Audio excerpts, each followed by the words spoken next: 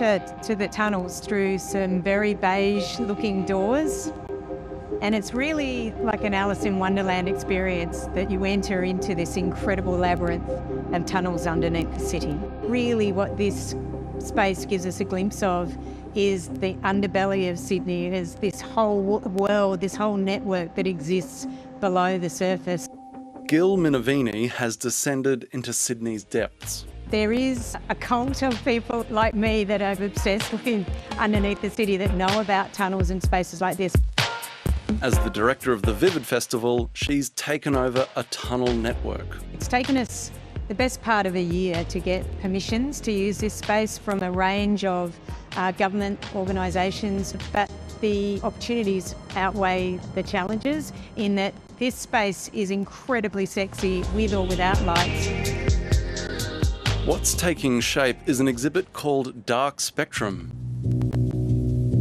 A series of rooms tied to different emotions, featuring lights, robots, and dance music across 900 metres of abandoned rail tunnel. So we've installed about two kilometres of fibre optic cabling into the tunnels to create a network to run the whole experience. The venue itself tells this amazing story. You start in a quite small constricted spaces and then you end up in spaces like this in these huge railway tunnel sections. And then you end with this quite spectacular curving tunnel back up to the uh, up to the real world. Good afternoon. Hello. How are you? Good. How are we doing? The PA is going in. We have a lot of cabling to go up, and hopefully we'll be hearing sound at the end of this week. Nice. Lighting designer Richard Neville hatched the idea during COVID quarantine three years ago. The hard part was finding a space. I grew up here and you hear the urban legends, the stories about the train tunnels that aren't used. So about a year ago we went to the City of Sydney archives, we rifled through a bunch of paperwork from the 1920s, the 30s, and basically built our case to go to the team at, at Vivid and say, look, I, I think this space exists.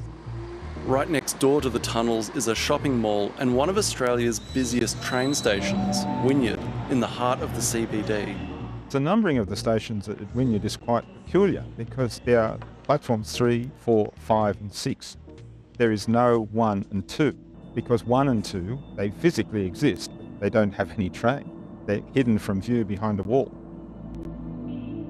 Wynyard's ghost platforms 1 and 2 were designed for a rail line that would cross the harbour and continue to the northern beaches. It was an enormously ambitious project, driven by the same man who led construction of the Harbour Bridge, John Bradfield. I think when you look at Bradfield's plans in the 1920s and you think, oh, I wish this had happened, what a city we would have had the railway would have come from Narrabeen down to Manly, across to Mosman, and then linked into the North Shore Railway, across the bridge, through the city, and then probably out to the southern suburbs to the airport. But money became a problem. By 1932, when they were coming to conclusion, the Depression was in full swing, so the state budget was completely ruined.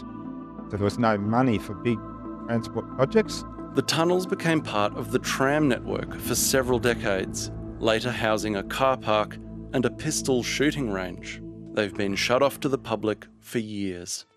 We managed to get access and had a look through. The place was full of rats, cockroaches, water. It, was pretty horrible. So it's taken a year to now get to this point where we're actually putting an event in.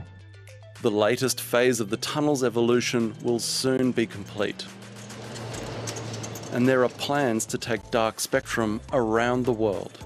And I think every city we look at, whether that's Berlin, London, or New York, has spaces like this, and it's an amazing opportunity to be able to invite local people like myself into a space and go, hey, did you know this existed in your own city? So I've actually never been in the tunnels at, at Wynyard, so it's going to be a new experience for me. I hope that they are inspired. I hope that they're exhilarated. I hope at times they're just a tiny bit scared, maybe. Um, and, you know, just a sense of joy. It's a joyous project.